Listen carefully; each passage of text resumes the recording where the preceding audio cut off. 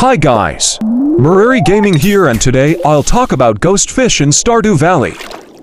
The ghost fish is a fish that can be caught in the mines on the 20th and 60th floor during all seasons. A ghost may also drop a ghost fish 8% chance when slain.